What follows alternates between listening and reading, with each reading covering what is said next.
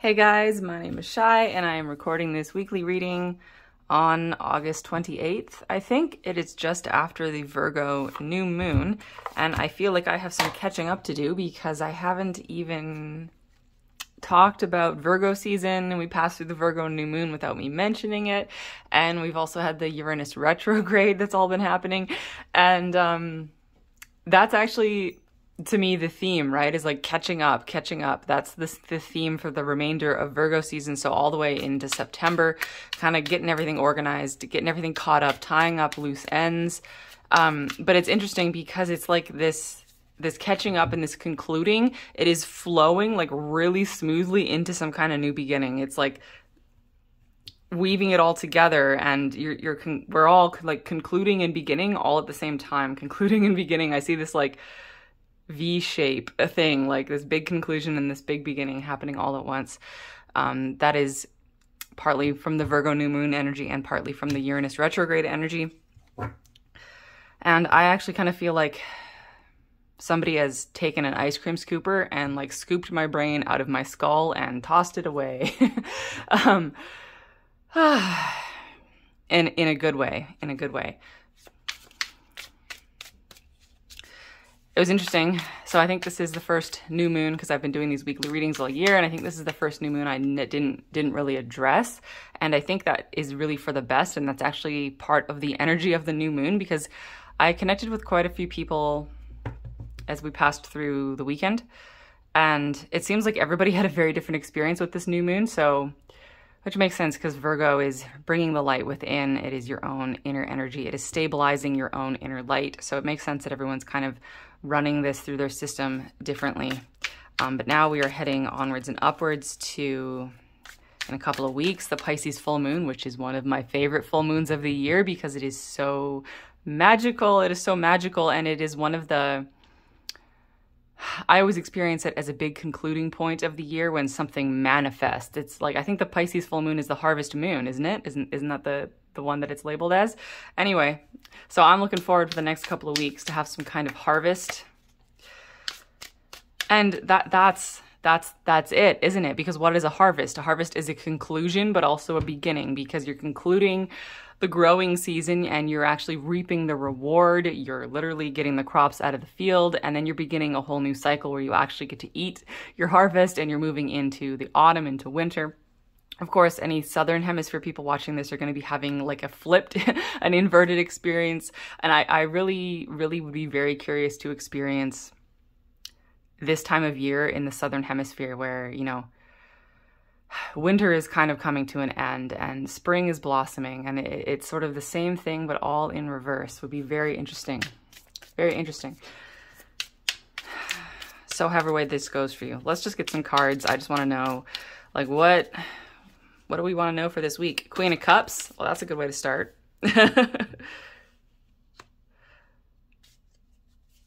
that's making the left side of my head tingle.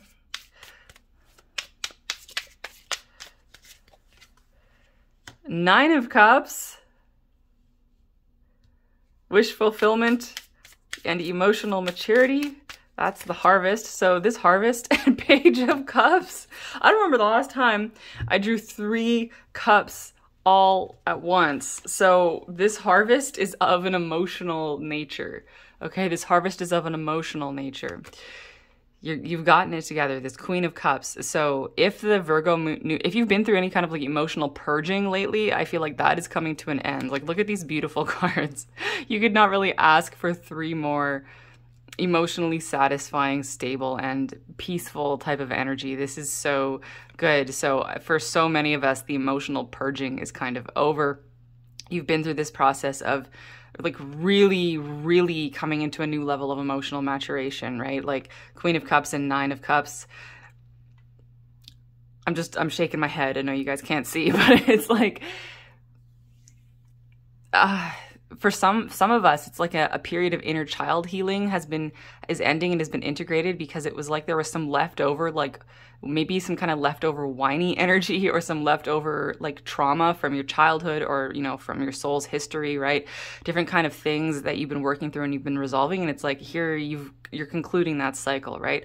You might have another cycle of that spiral around for you later and that's fine. It's always an it's always an ongoing process right? But just know that whatever you've released whatever emotions you've processed that you you've done enough. Like it was good enough and you've done enough and you are enough whatever you've been doing it's enough. So big that that is really strong here. That is really strong. Know that like you are enough what you do is enough and whatever you do whatever whatever amount of work that you, that you do, whatever kind of work that you do, and this includes all, all variety of work, right? Work like at your job, yes, but even more specifically, work in the home, like work you do supporting your family, like housework, cleaning, cooking, emotional support for your family. And then also all the inner work you do on yourself, right? Uh, anything that you that you do that you, that could be construed as work in one manner or another, anything that you put effort into, just know that it is enough. Know that it is enough. It is enough. It is enough massive message. And it's funny, I don't know if you could hear my husband sneezing in the other room. Um, when I sat down to do this reading, I started sneezing. I was like sneezing my head off before I turned on the camera. So that's interesting.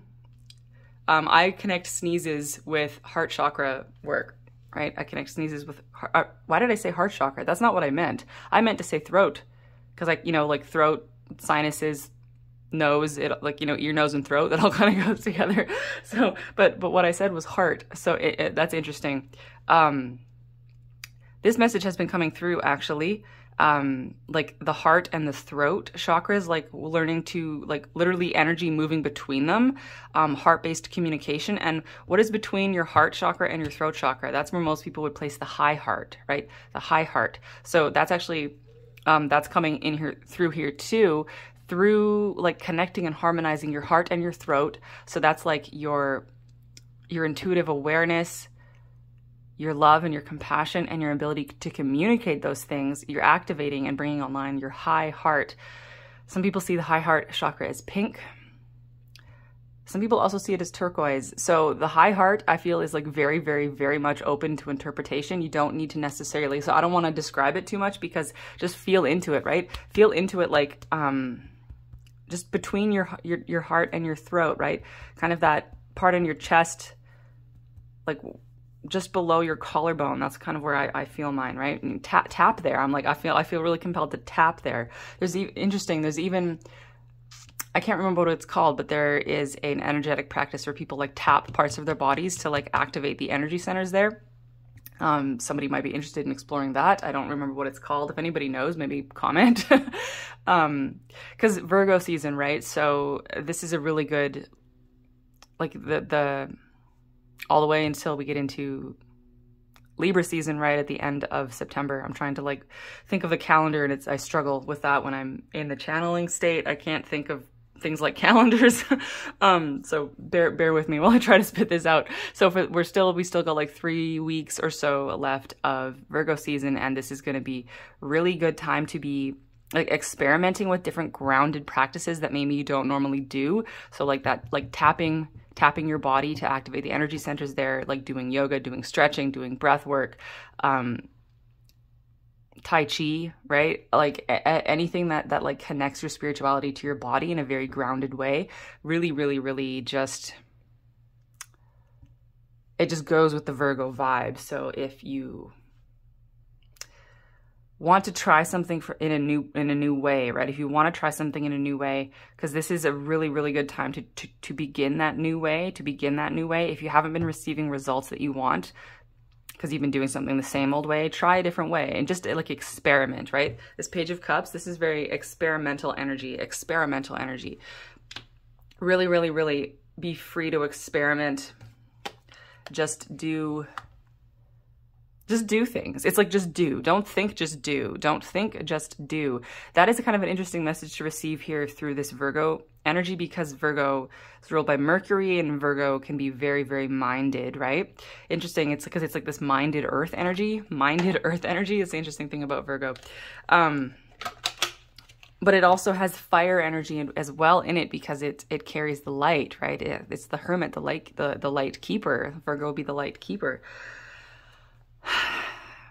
what is this all driving towards? I can hear I can hear my my statements like spiraling around. What is this all driving towards?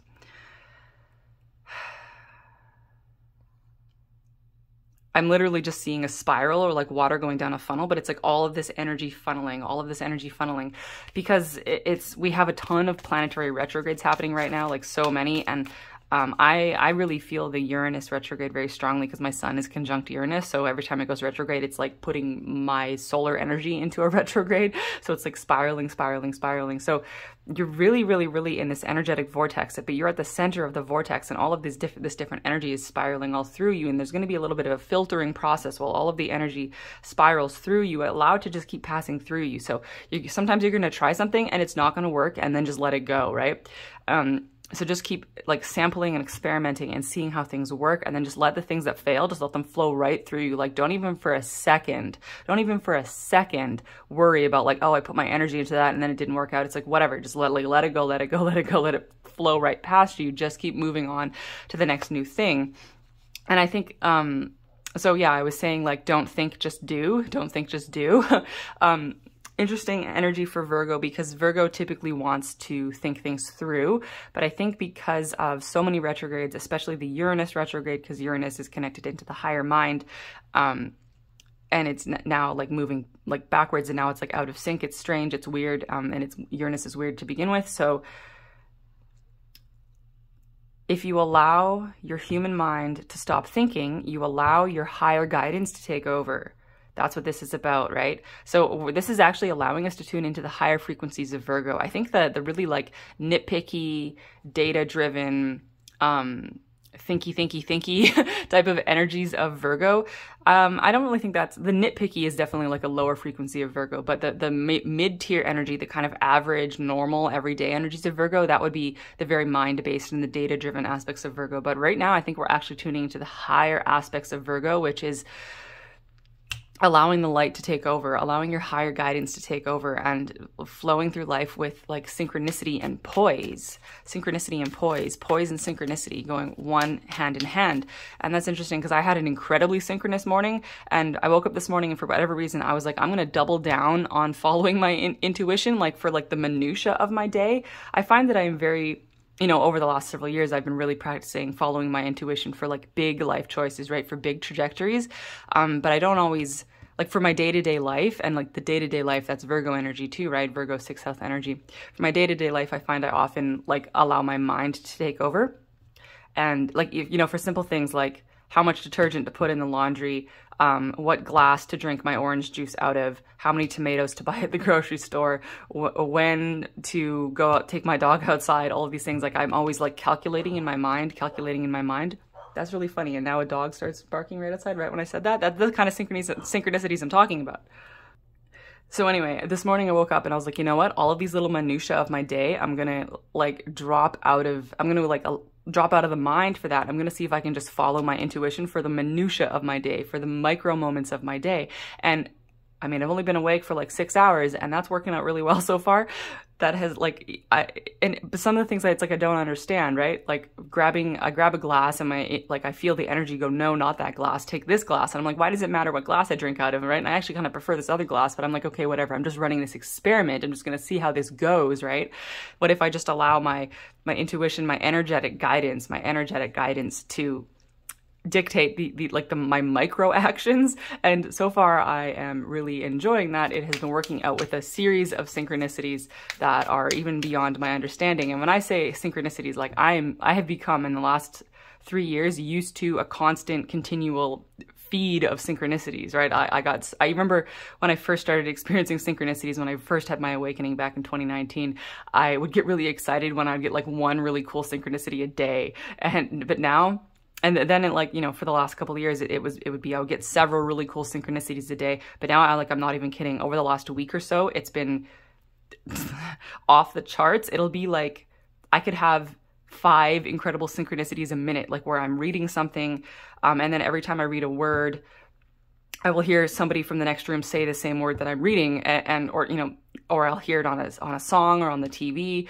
or stuff like that, or I say dog and then I hear a dog barking outside, and that, that can happen like multiple times a minute, and it just doesn't let up all day, and, and it's like absolutely incredible. and I always feel that for me, synchronicities, the more I experience them, the more it's letting me know that I'm in the flow, right? That I'm in the flow, that I'm flowing in the right direction, that I'm going with the flow of the universe, right? That I'm really just synchronized up. A synchronicity has got to be a sign of synchronicity, right? That's and that's really all a synchronicity is, right? It's, synchronicity shows you that you are synchronized. When you're synchronized with something and when you're experiencing synchronicity, well then you know you're synchronized with it. it's like so if you if you like it's just a snowball in that direction, right? The more synchronicities, the more you know you're synchronized, and the more you try to synchronize with your higher guidance, with your inner guidance, however you want to look at it, the more synchronicities you experience, and then you just have this snowballing effect of this synchronistic life. Nine of Cups, right?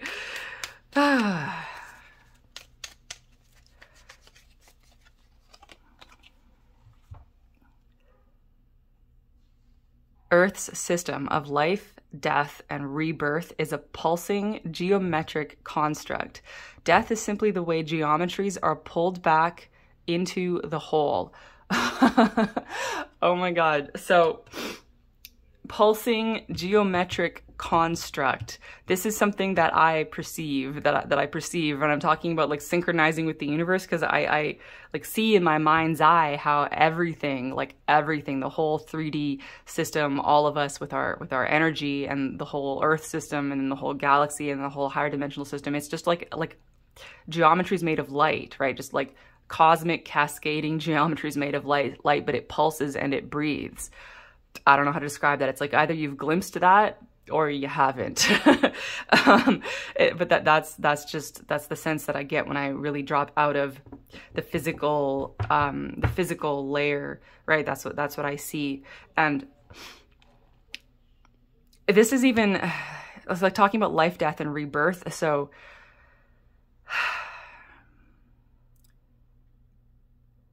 I feel like this could go really serious for some people and then way more lighthearted for others. So the lighthearted way of this is that this is like if anybody watched the last video I posted, I was just kind of talking through my experiences with like multi multiverse theory, right? Many, many, many, many different versions of yourself, and that how it feels like there's these there's these like the column life, the vertical tree tree trunk life, and then the branching off little dead end lives, the little branch lives. The tree trunk life, the tree trunk life, which for me is this life I'm living right now. This is one of my tree trunk lives, and then I have all these little branch lives where my lives were kind of just normal and boring, and I didn't really awaken, but I lived just various versions of a normal life, right? Right? And then died, right? And I see these as like little exploratory. They're like lesson lives, they're learning lives, they're research lives. They're very valuable, um, but they're also kind of less interesting, right? But they all they all stem off, and it's like it's like a network of mushrooms. You guys, you guys know how like mushrooms like all connect underground, right? With their root system and like the bulk of the mushroom, the thing that is actually the mushroom is mostly underground and then it has like the little mushroom heads that poke up and those are just the fruiting bodies. like the sex organs, really like the mushroom that pokes up out of the ground. It's it's just that's how it reproduces. It's like a mushroom penis, you know? like and it, it's like that that same that same thing, like the the network of mushrooms and the fruiting body of the mushroom sticking up under the over out of the ground. Like I I that that's a really good analog or really good analogy for how the universe works in this pulsing geometric construct of light. We have some lives that are the mushroom heads that sprout out, right? But then they're like the network, right? The bulk of the, the consciousness, the bulk of the mushroom is underground. So you can see this, you can think of this just in terms of that way, right? Like little bits of consciousness shooting off. We have little parts of our consciousness that shoots off, explores, lives and dies, and then releases its spores to reproduce, and then it just rots and goes back into the earth or just comes back in to be reintegrated back into the, the main life, back into the tree trunk life. And that is what so many of us are experiencing right now, where in very, very, in many, many, many different ways, we are integrating our kind of branch lives, right? Those other lives that we lived that were more boring, where we didn't really awaken, where we didn't really explore our spirituality as deeply, but maybe we had a like maybe we did different things, right? Maybe we had a good career, maybe we had a we raised a family, we did different things, right? We learned different lessons and we had different good experiences, but we're like integrating all of those. So it's like all of the things you lived and learned in all of your parallel lives. You're integrating so many of those lessons right now. And it's really incredible and they're like coming back to you. They're coming back to you just like the like like the mushroom has the mushroom part has died and now its energy is being reintegrated. It all comes back to the center. So you are rapidly rapidly rapidly sucking back the energy from all of your parallel lives so that it can come into the central column or the central tree trunk that is this life for you right now. And it's like powering you up. You're literally like reclaiming this, like little bits of your soul like soul fragments. You are reclaiming soul fragments like at an exponentially at a speed that is exponentially faster than you used to. Maybe you used to integrate little soul fragments like once in a while, right? But now it's like an entire cascade of them collapsing back in on you.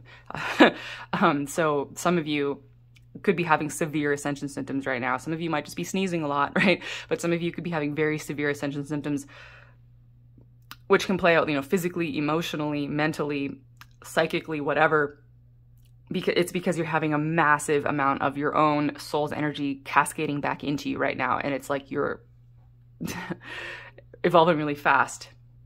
And so the other part of this for those of you where this stems a little bit darker right? I mean and it's not that it's darker it's that it might feel darker for you if you're grieving the loss of a loved one or if you're worrying about you know physical death right? This is really inviting you to feel into that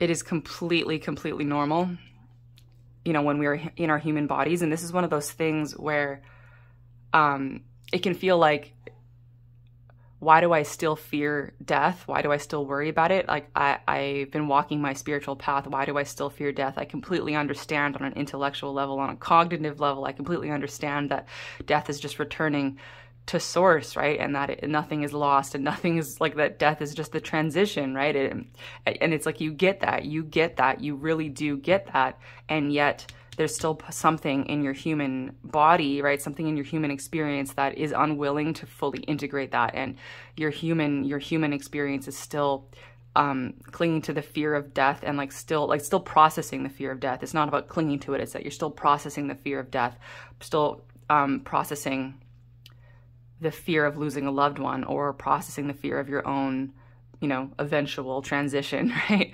Um, and that is a huge, massive topic that I don't really think anything I can say in this video video will help you with that. um, all I can say is that there is an energetic an energetic transmission being transmitted to you right now because um, I literally this year, okay, literally this year, over the past year, I have been going through my own personal process of releasing, you know, fears of death and going through grieving processes of having lost loved ones and many different levels. It would be a whole big long story to get into it, but, but it, that's the point. Like it doesn't need to be explained. It doesn't need to be explained because this is something that can basically only be released and healed for you through your own experience, right? Through your own experiences, through your own life experiences. Um, but what I, so I think the point of me kind of talking through all of this, but also not really being able to say anything specific for you, because this is the kind of thing where words don't help, right? Words don't help you work through issues around death, right? Words, words don't help, but energy can help. Energy can help. So that like right now I can actually, I can like feel, um, the the lessons that I have learned, right? The, the, the energy that I have integrated on this topic, it is being transmitted out through this video. So if you really would like to receive that, like really, um,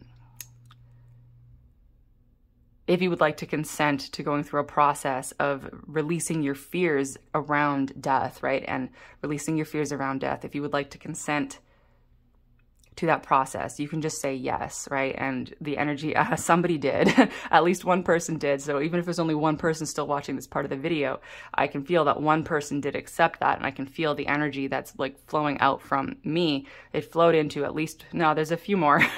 so there, there is, a, is a small group of you where this was relevant.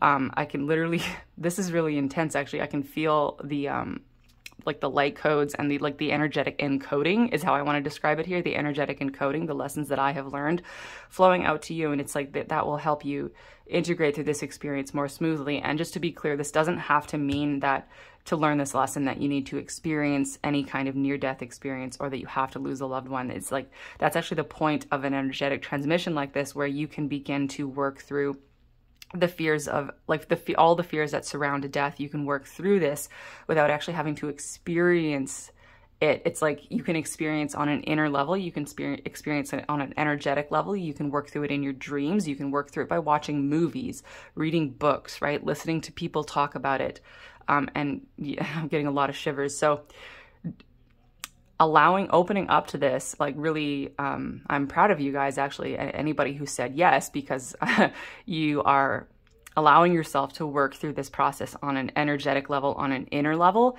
and that means that the lessons won't need to manifest in the physical right any lesson that we can integrate and learn completely internally, completely energetically, then it doesn't need to happen outside of us. So this is really, really good. And just for you guys specifically, just take it easy. Know that you might be having some strange, you might have some strange dreams over the next few days. um, and really, um, I'm, I'm really serious about like you can integrate these lessons by watching TV, um, watching movies, reading books, watching YouTube videos. So just really follow like that little energetic nudge, that little pull, your intuition to like consume any of that type of media or any type of content because there could be like surprise lessons, right? If you watch a movie where someone is going through like a grieving process that you like vicariously can go through that with the character in the movie. That's why movies are so energetically important to us, right? So yeah. Okay, that's and that's basically all I want to say on that. I am just also drawn to the fact that I have had this card here. This miracles card sitting in this box. Um, everyone, like I drew this card for myself a couple days ago and I was like, this is so awesome because look at this. This is miracles. this is the double rainbow. And I was like, how am I going to box that back up? Right. So I just left it sitting out here like this. and I was really, really drawn to that. Maybe, maybe now after this, after recording this video, I can finally put it away because this has been sitting there vibing for a while. So I think the last thing I'll do is I'll just read the, the, the card, read the blurb, read the blurb for this card.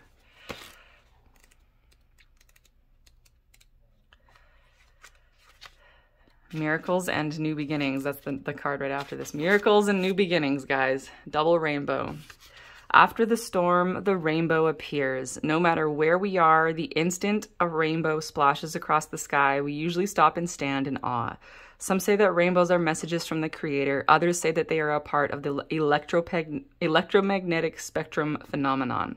But no matter the explanation for their existence, Rainbows have struck awe in the hearts and souls of many through time. Many traditions believe that rainbows are blessings from the Creator. A double rainbow is a double the blessings. The storms of the past are passing and your dreams are coming true. No matter what has happened in the past, your future holds abounding miracles. Good fortune, celestial beauty, and inner divinity are expanding within you. Believe that your life is guided. Trust in the goodness of the universe. A celestial bridge to the heavens is opening for you. Start a, a, health program, invest in your career, or initiate a relationship, and good fortune will manifest. Blessings are flowing in all directions. Believe that you deserve the best because you do. Bounty, joy, blessings, and miracles are flowing your way. All right, guys, sending you so much love and light. I'll talk to you later. Bye.